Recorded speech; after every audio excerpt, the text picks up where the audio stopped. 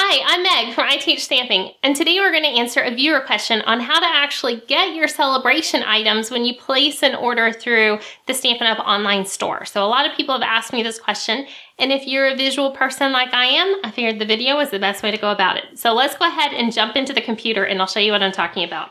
So when we're on the I Teach Stamping page, you can find my online store right here. So we're going to click on Shop Online. And then this is gonna take you into the Stampin' Up! order page and you'll see my name in the upper right hand corner. That's how you'll know that you're shopping with me.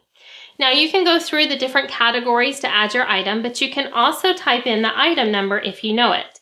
So I'm gonna put in Whisper White cardstock and I'm gonna click on this.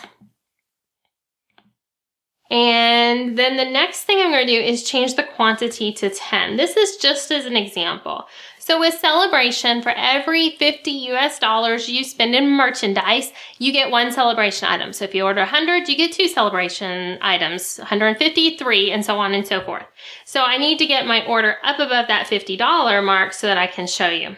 Once I add it to my bag, I'm going to get this screen right here.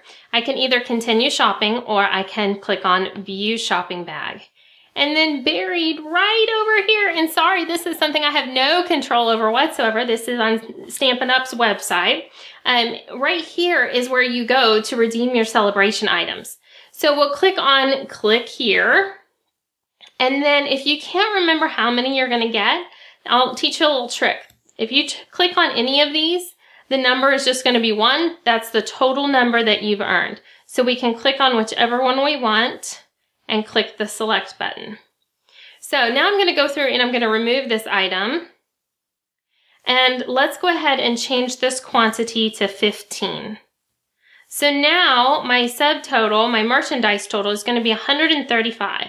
If I click here, again for my Sale-a-Brations, now you'll see that I have two. That doesn't mean I have to get two of the same item. I can do one here and one here, and then select those, and I'm ready to move on. If you're using a host code, if you're a part of an online order uh, group, then make sure to put it in, hit the apply button before you go to checkout. But that's what it takes to place your Sale-a-Bration order and get your free stamps. I love free stamps. I always say free stamp, stamp better. So if you have any questions about this, or if there's any other questions you have about placing an online order, please be sure to leave it in the comments below. All right, thanks for watching and I'll see you in the next tip video. Have a great day.